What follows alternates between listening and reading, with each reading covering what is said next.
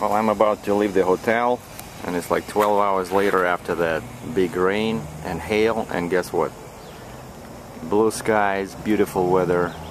This is still Black River Falls and some guys from uh, from over the from overseas were accusing me of parking my truck in the wrong way, unfriendly way. Now, first we're gonna do is we wanna measure the truck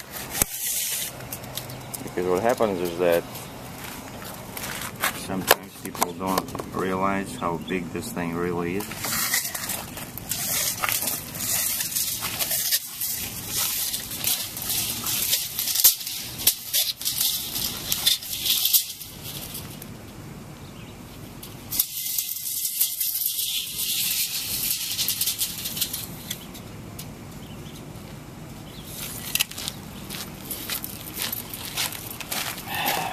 Twenty-seven feet.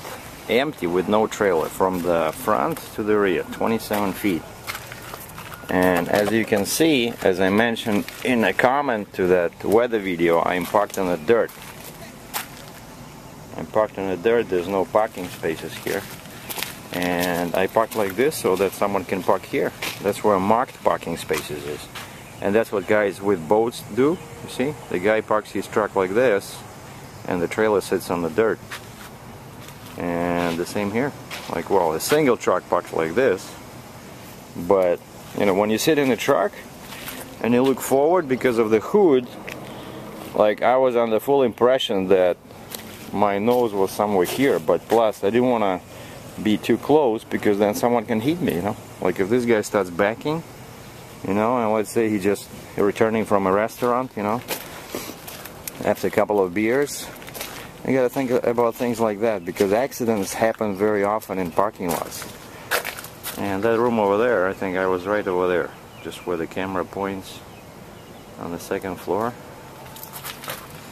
Well, time to hit the road. Only about uh, 1200 miles left to the plant in South Carolina where my new 55 ton lowboy is waiting hopefully. Hopefully they're done